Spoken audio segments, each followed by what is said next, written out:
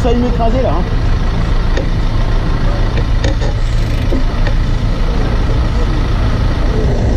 Ah oui, oui, oui, c'était loin, ouais.